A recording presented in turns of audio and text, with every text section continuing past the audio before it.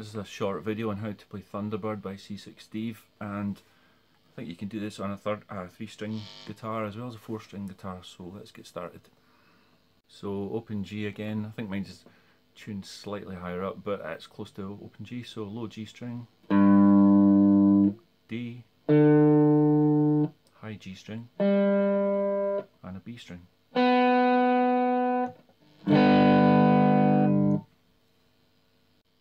So the first riff you want to play the high G string on the 10th, 9th and 7th frets whilst also playing the D string open. So it sort of goes like this. And then there's a bend on the low G string on the third fret to open string. So it's like this.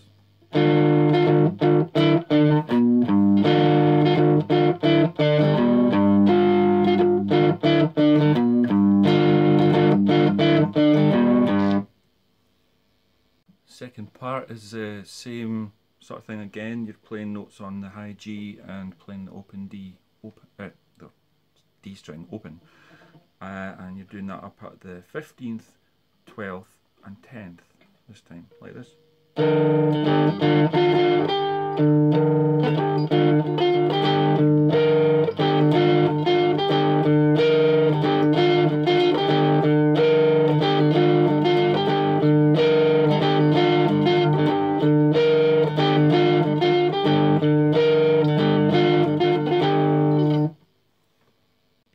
Goes into a monologue about drinking Thunderbird. Uh, it's just the third fret on the low G string and off to open. So it goes. And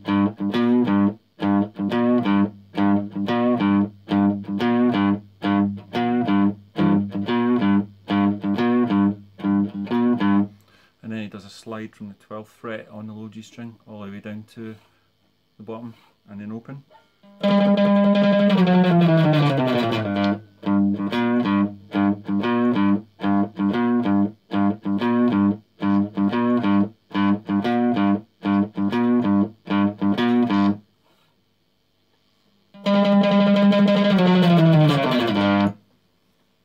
That's the simple part of that one, but you can also play it like this, which is, I believe, same as the record. So it's open, but he's playing the open high G as well.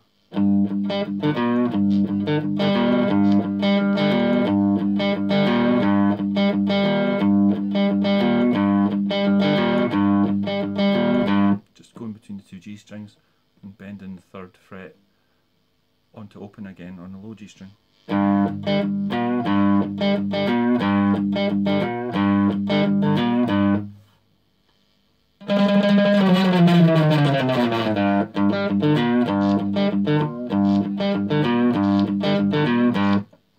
That way, I think. Then starts going a bit mad with uh, just slide work, really, with slide on all the frets. I think he's um, he first starts off sliding up to the third.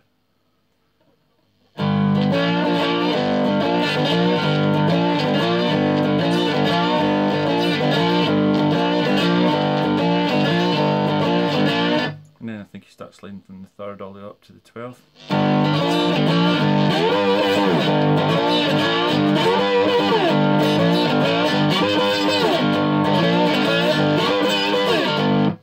And then it sort of the drum beat changes and then it starts sliding up to the twelfth and then doing the slide down at the third. So it goes.